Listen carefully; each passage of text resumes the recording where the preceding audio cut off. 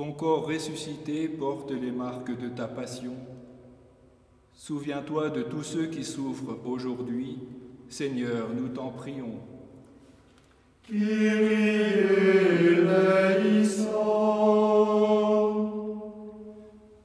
À tes disciples, tu as offert ta paix. Souviens-toi de tous les cœurs troublés. Seigneur, nous t'en prions.